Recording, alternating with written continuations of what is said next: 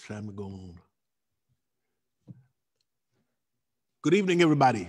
Good evening. Welcome. We, evening. We're certainly glad to be here tonight, and I think we're already on Facebook Live. So we are going right on into uh, prayer and into Bible study. Do we have any prayer requests tonight?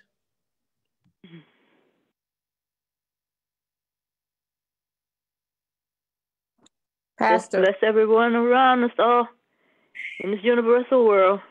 God is able and he won't fail. Praise God, mother. Praise God for your mother, Kua. Somebody was calling me. Yes. Pastor, um, Sister Darlene Brown, um, she uh, fell again and she broke her kneecap and a rib. Mm-hmm. So she's healing slowly. Yeah. And she's um, you know, I told her that we would pray for her. I gave her the uh, Zoom information and she said to tell you hello and she misses you. oh, praise God. I miss her. Is is she home? Yes. You know, okay. Okay, we'll have to figure out a way. I'll have to figure out a way because I know you're very busy, Elder Dooley. I'll have to figure out a way to get over and uh, see her so she can get ministered to. But uh, thank you for that. We're still going to pray. As a matter of fact, I, I like to pray when the requests come up. So let me pray now. Now, God, in the name of Jesus, I, I put Sister Darlene Brown on the altar of prayer on the altar mm-hmm. of faith and trust. I pray for, first of all, God, your presence there in her home and your presence surrounding her. Your presence, God, and, and the presence of angels that would minister to her night and day. And then I pray for healing of her body. Even though, God, there are bones broken, you can knit bones back together and make them like they ought to be and then make the muscles around them new. And so I just pray for that miracle of healing for her. Hallelujah. Then I pray for peace in her spirit.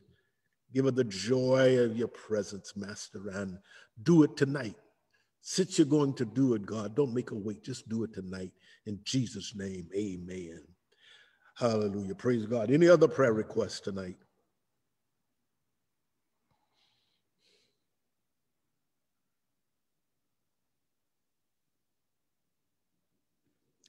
We still want to keep the Lane family in prayer.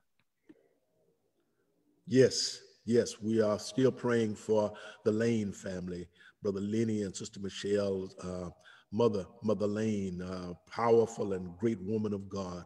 God, be there with Mother Lane tonight and continue to touch her, her mind and her spirit. Let her, God, know your presence and uh, encourage that family tonight. Be there with them in Jesus' name. Amen want to continue praying for my dear friend, Reverend Kimberly Gladden. I told her I would keep her name on the prayer, prayer list. God, work a miracle in her body, the miracle of healing.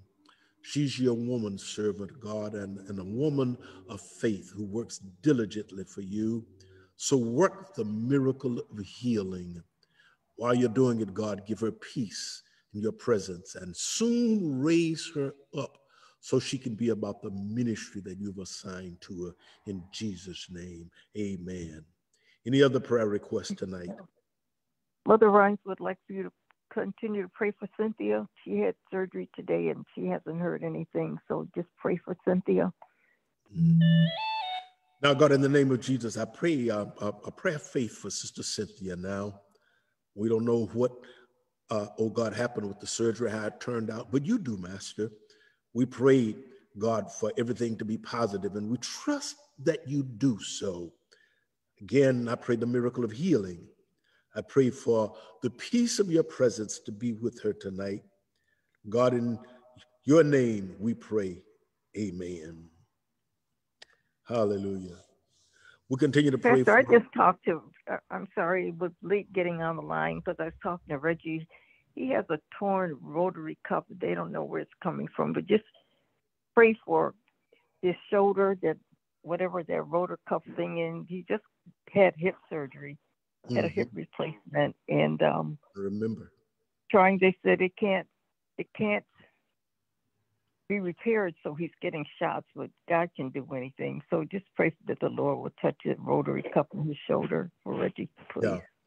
Now, God, I pray for for Reggie. Pray that you would knit those bones and tendons back together, that you would strengthen those muscles around it. Hallelujah, God. Uh, even though the doctors can't uh, They, they can do what they can do, God, but you can do what you do best. Doctors are repairmen, but you are the creator. Whatever you made, God, you can fix. Hallelujah, God. And so touch him tonight and, and heal him. Don't just heal his body, God, but I pray now that, that Reggie would begin to remember the things that he was taught growing up in church. He grew up in a, in a saved home. He grew up with a praying mother, with praying family, God, and, and remind him of his teachings of holiness and, and the call to sanctification. Bring him to you, God, and let him acknowledge you not only as a healer, hallelujah, but as a savior, as a keeper. In Jesus' name I pray. Amen. Amen. Any other prayer? Thank you. Thank you for that additional prayer. Thank you, Pastor. Bless you, Mother Pat. Other prayer requests? Can you pray for my grandchildren and my children, Pastor? Thank you. God, you hear the prayer of this mother and this grandmother. And I'm going to add God onto the prayers of our dear, precious uh, Mother Shaw. All of our prayer, hallelujah, all of our prayers for our grandchildren and our children. Oh God, we, we don't even know what to say.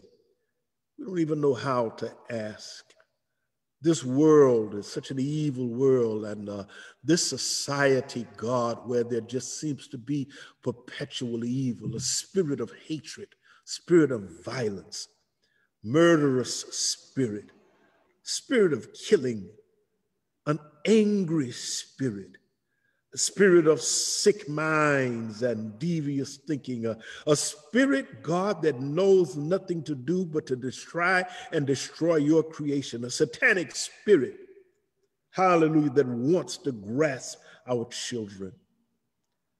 God, this dear mother, this dear grandmother, you, you hear the prayers of a mother and a grandmother. Jesus, even when you were hanging on the cross, you looked down at your own mother there weeping over her son, and, and you had compassion on your own mother. And now, God, have compassion on this mother. Jesus, we remind you when that mother came and and stopped you and said, Lord, my daughter, my daughter, my daughter is grievously vexed. Heal her And you said, Woman, great is your faith. Your daughter is healed from this hour. Do the same thing right now, Jesus. Don't let this mother and this grandmother come to you, God, and, and send her away. She comes with faith, she comes with trust. But this is a prayer not only for her children, but for all of our children. God, we beseech you in faith tonight. We're even as the Father in the ninth chapter of Mark, who, who brought his son, and even when the disciples couldn't heal him, and, and he said, God, uh, do something about my son. And you spoke. In that moment, he was healed. We come now as fathers and mothers. We come like Jairus, who, who came and said, My daughter is sick, and you don't even have to go speak the words, and she'll be healed. Let there be the same faith now, God. Save our children, save our grandchildren. Began, began to rebuke those evil minds, God.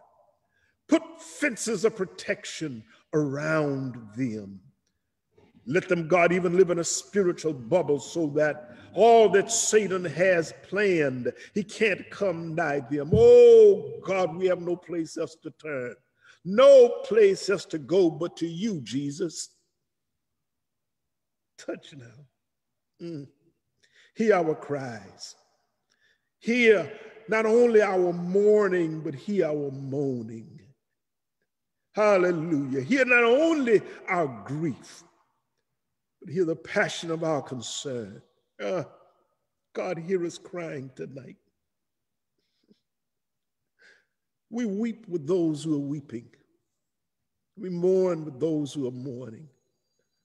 Oh God, those 19 children that were brutally, brutally ripped out of this life out of the lives of their parents,